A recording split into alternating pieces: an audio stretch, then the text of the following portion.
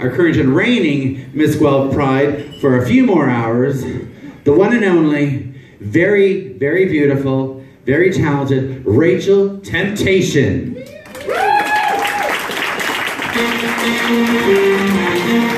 Let's go, girls.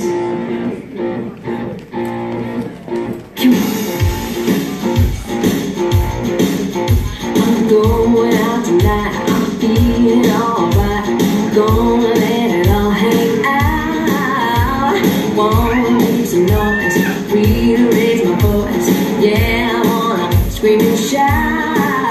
Yeah.